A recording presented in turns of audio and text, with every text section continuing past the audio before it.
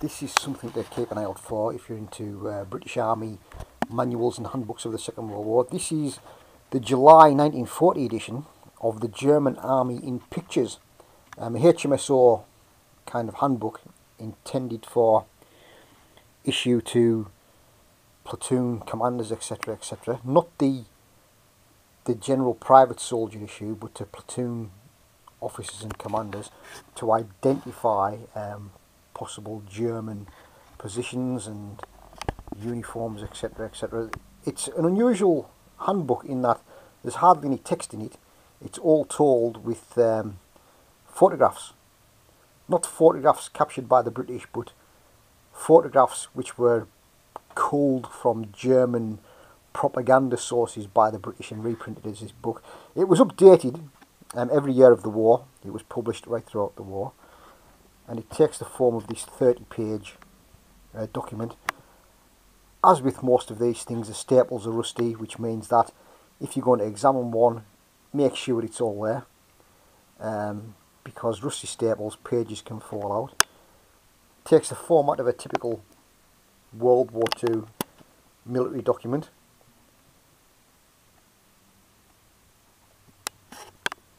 German Army in pictures. Notes. The purpose of this pamphlet is to give all ranks an idea of the appearance of the German soldier and his armament.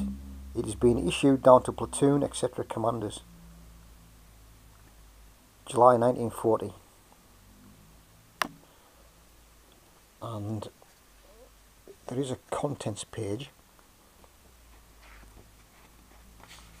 And the contents page, it's very, very basic. Uniforms, parachute troops, tank personnel, field service dress, motorcyclist troops, armoured cars, armoured fighting vehicles like medium heavy tanks, small arms, anti-tank and infantry support weapons, rifle, carbine, machine pistol, LMG, HMG, dual purpose MG, 2 inch mortar, 3 inch mortar, anti-tank rifle, anti-tank gun, 2 cm AA gun, 7.5 cm infantry gun, 15 cm infantry gun, artillery, 10.5 cm gun howitzer, 10 cm field gun, 15 cm field gun, miscellaneous, raft for crossing rivers, rivers and inflatable boat. So it sounds impressive, but it's only a photographic guide. So all of most of the photographs are kind of that way on. So we'll turn it around.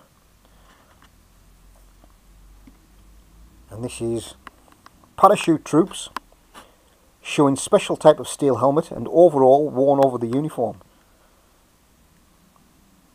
So it's just a, basic guide. It, it doesn't go into any comprehensive details.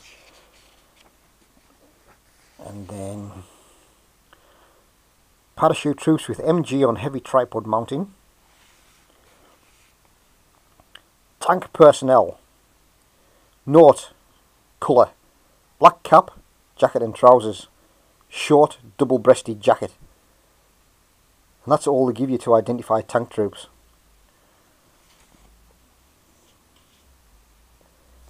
Me carry on. And this one says Field Service Dress. Jacket grey-green, trousers dark grey. Stick hand grenades usually carried stuck in belt. So it looks as though the person who's written the text has just looked at the photographs and he's just stating the obvious. And this one shows motorcyclist troops of an armoured division. Note, in foreground motorcycle, machine gun company, in background motorcycle rifle companies. All pattern HMG shown.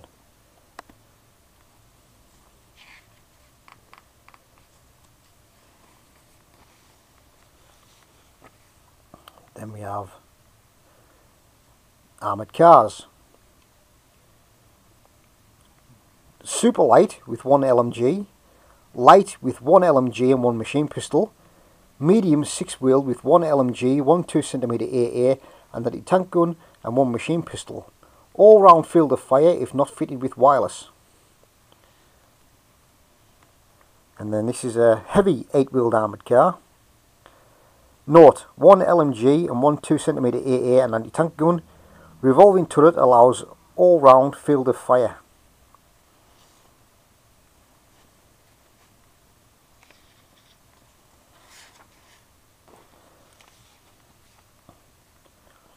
Two-man light tank Type 1, 5.7 tons. Note, two LMGs in revolving turret. Armour bases 14mm. Light Commander's tank 5.7 tons. Note, one LMG, armour basis 14mm.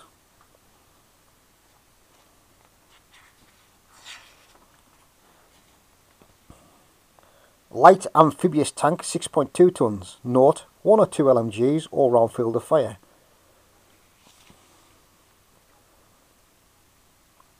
TNHP light tank ex-Czech 8.5 tons being raised to 12.5 tons. Note 137mm gun, 2 LMGs, armour bases 25mm, raised to 50mm.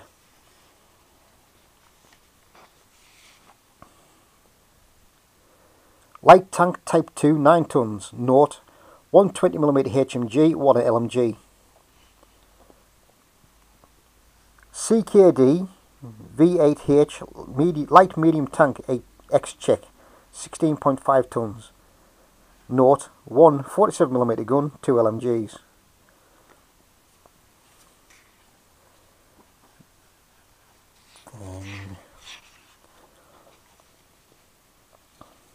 light medium tank type 3 18 tons 137mm gun 2 LMGs medium tank type 4 22 tons 175mm gun 2 LMGs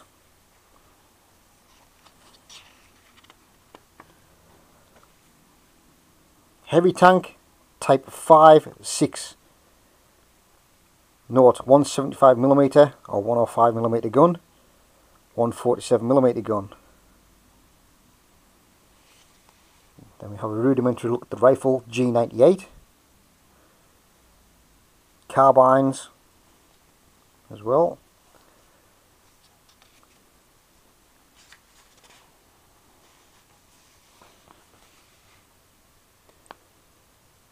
Schmeisser machine pistol MP38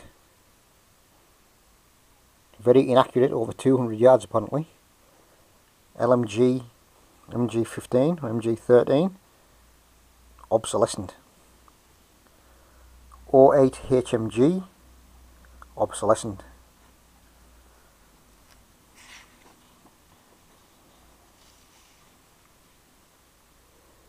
Machine gun 34, dual purpose weapon, very rapid rate of fire.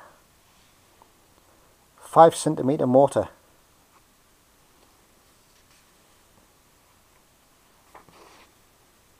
8.1 centimeter mortar, 2 centimeter anti-tank rifle,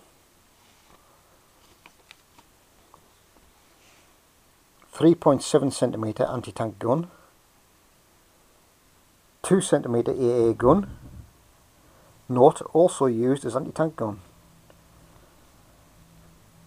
7.5 centimeter infantry gun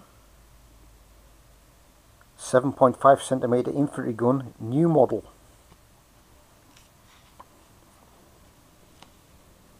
Fifteen centimeter heavy infantry gun. 10.5 centimeter gun howitzer. Note, this is the normal field artillery weapon.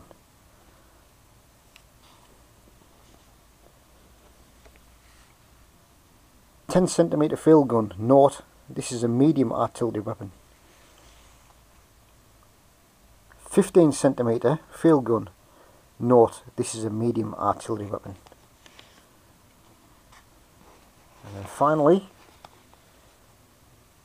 ferrying an anti-tank gun detachment across a river by raft. Small inflatable boats used for crossing rivers. So that was basically all the British Army had to go on about the German Army in July 1940. Very, very basic but it was updated with each year of the war that went by. But that's all they had in July 1940. The German Army in pictures.